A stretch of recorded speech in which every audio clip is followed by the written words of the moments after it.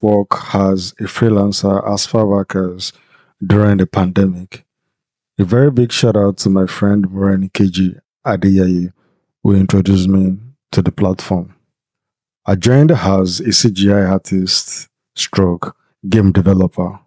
Well, uh, I'm proud to say I have a vast knowledge of both Blender and the Unreal Engine 5.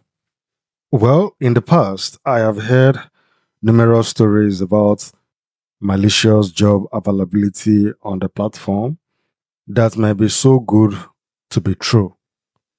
But in my four years of being on this platform, I never encountered such up until a few days ago when I was approached by these guys with a very clumsy offer with annoying terms and conditions. And I quote, the company is into lead generation and sales engagement campaign. You will be working with our team and your LinkedIn account, old or new, will be used for sales engagement campaign. Your account is yours. We will not change your login details. You will be required to be doing, you will be required to be checking the Slack group regularly in case if you are needed to verify your account. You will not log in to the account after you submit to the team and during the period of this contract. You will be on the Slack to monitor your pay and uh, further announcement by to monitor your pay and further announcement by the CEO. So uh, he, he went on to say the payment method is going to be via PayPal, USDT, and uh, via Upwork.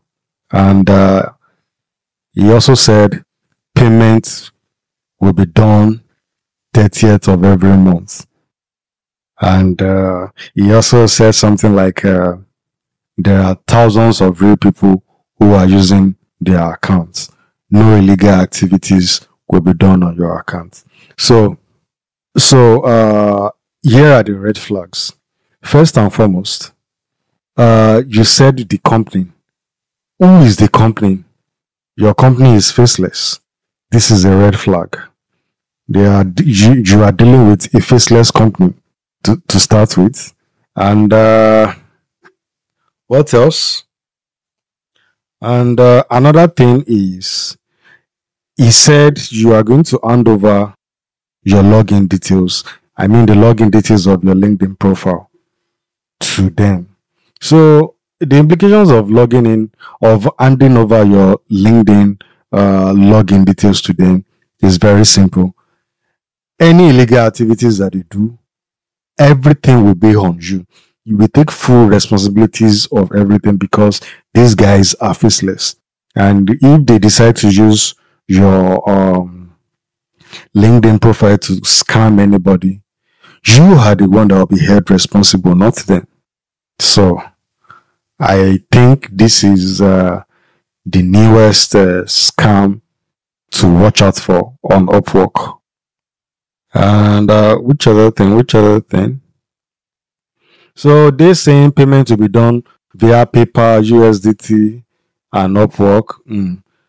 In Upwork's terms and condition, any uh, any transaction that you guys are doing or you decide to do with any client, from right from inception, everything has to be on Upwork and end on Upwork, not you using any other third party application.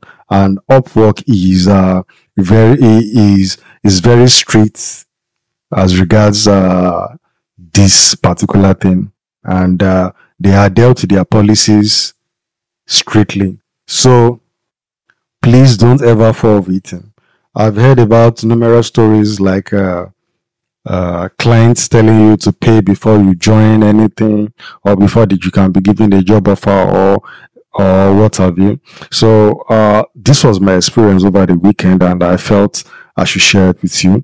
And uh, if you've had, if in the past you've had a similar experience, or you've had uh, something different from this. I would love to hear from you. And uh, if you enjoy my content, don't forget to like, share, and subscribe. I can't wait to hear from you. Good luck.